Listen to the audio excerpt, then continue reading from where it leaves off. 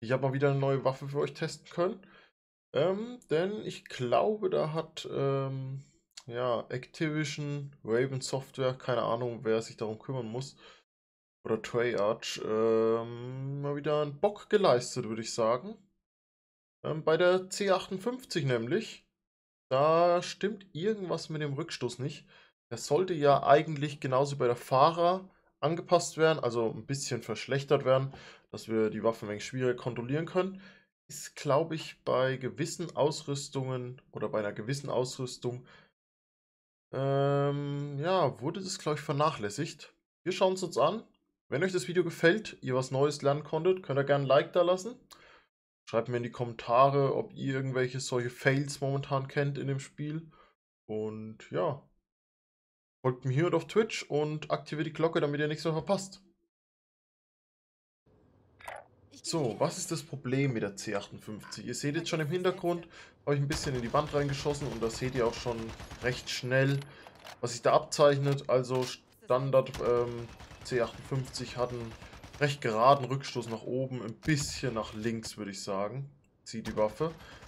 Wenn man dann schon das ähm, 3x-Visier ausrüstet, da wird der Rückstoß schon ein bisschen verringert und ähm, zusammengestaucht, also die schlägt nicht mehr so weit nach rechts und links aus.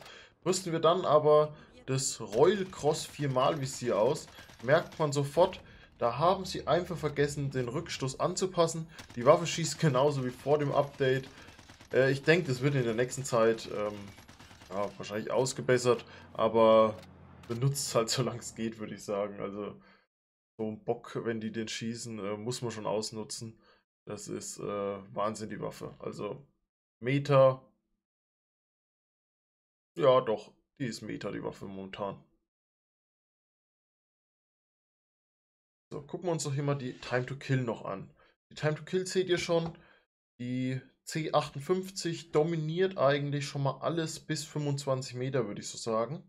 Und dann wieder ab, ja, sagen wir 38, wenn wir großzügig sind. 38 Metern. Dann schreddert die alles weg und stellt jedes andere Sturmgewehr in Schatten. Die XM4 auch mit angepasstem Rückstoß mittlerweile, ähm, viel besser jetzt, äh, hält da nicht mit. Die ist genauso wie die C58 eigentlich, also nur halt langsamer in der Time to Kill, weil es halt nicht so viel Schaden macht. Die Krieg kann ein bisschen von ca. 27 bis 38 Meter mithalten und die Fahrer mal ganz kurz, ich würde sagen so 2 Meter ist er drunter und dann ist er auch schon wieder schlechter.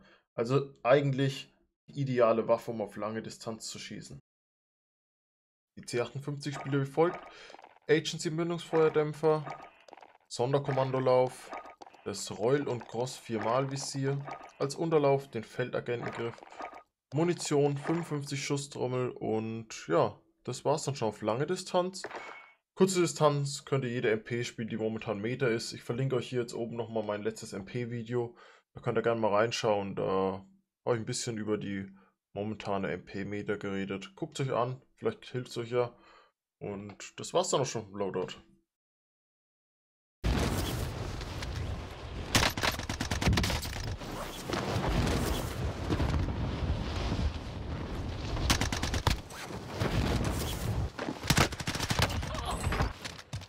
Feinde landen im Einsatzgebiet.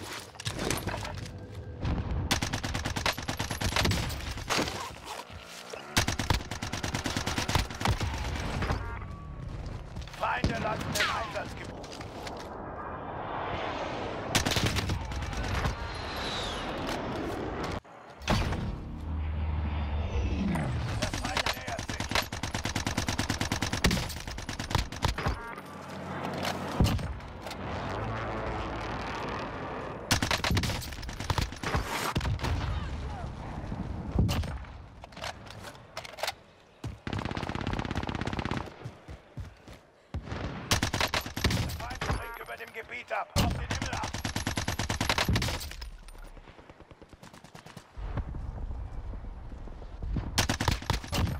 Der Feind springt über dem Gebiet ab. Auf den Himmel ab.